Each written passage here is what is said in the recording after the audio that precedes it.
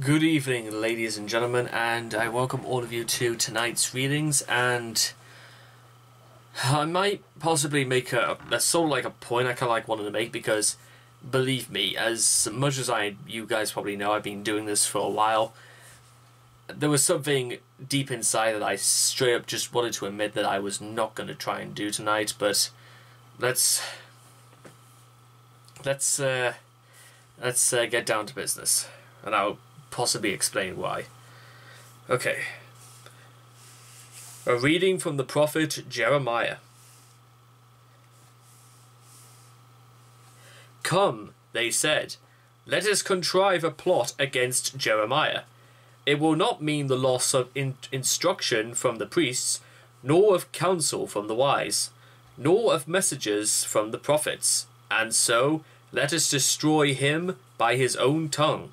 Let us carefully note his every word. Heed me, O Lord, and listen to what my adversaries say. Must good be repaid with evil? That they should dig a pit to take my life? Remember that I stood before you to speak in their behalf, to turn away your wrath from them. So now deliver their children to famine. Do away with them by the sword. Let their wives be made childless and widows. Let their men die of pestilence their men be slain by the sword in battle. May cries be heard from their homes when suddenly you send plunderers against them. For they have dug a pit to capture me. They have hid my snares for my feet. But now, O Lord, know all their plans to slay me. Forgive not their crime. Plot, blot not out their sin in your sight. Let them go down before you Proceed against them in the time of your anger. The word of the Lord, thanks be to God. The second reading tonight uh, comes uh, from uh, the reading of, uh, of, of St. Matthew.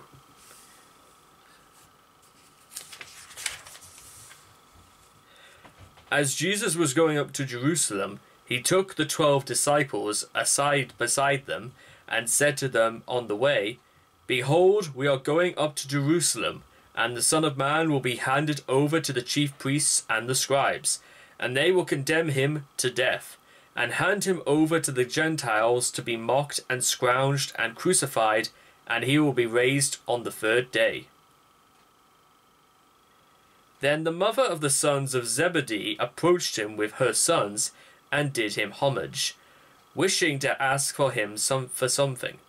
He said to her, what do you wish? She answered him, Command that these two sons of mine sit, one at your right and the other at your left, in your kingdom. Jesus said in reply, You do not know what you are asking. Can you drink the cup that I am going to drink? They said to him, We can. He replied, My cup you will be indeed drinking, but to sit at my right and at my left, this is not mine to give but it is for those for whom it has been prepared by my Father. When the ten heard this, they became indignant at the two brothers. But Jesus summoned them and said, You know that the rulers of the Gentiles lord it over them, and the great ones make their authority over them felt. But it shall not be so among you. Rather, whoever wishes to be great among you shall be your servant. Whoever wishes to be first among you shall be your slave just so, the Son of Man did not come to be served, but to serve, and to give his life as a ransom for the many. The word of the Lord, thanks be to God. In the name of the Father, and the Son, and of the Holy Spirit. Amen. Leadership, ladies and gentlemen, is a phrase that gets bandied about a little bit too freely nowadays because leadership is not always a complimentary uh, presence, ladies and gentlemen. Leadership is a heavy and a very, very important responsibility, often bestowed on those who decide that they are going to, as they say, step up to the plate. It is because of many people who we who live nowadays, we get to judge for ourselves exactly what stands out in the quality of leader. I myself have a leader. Many people around me have their own leaders. People they instinctively look up to. People that in many ways are just like you and me, normal, But the reason why they stood out is because they instinctively chose to stood out and to show that they are worthy to be set an example towards. Think about the many leaders, great leaders throughout uh, history, ladies and gentlemen. What stood them out from uh, pretty much all of us? Why can't we be people like them? People who took it upon themselves to uh, lead great people, to one day lead the very leaders that come from them. For it surely goes without saying, ladies and gentlemen, is that one of the best great aspects that made Jesus stand out as a leader is that he was a very, very humbled uh, man as the Son of God. He was sent to this earth to serve us. We are not he we were not here to serve him because he served us.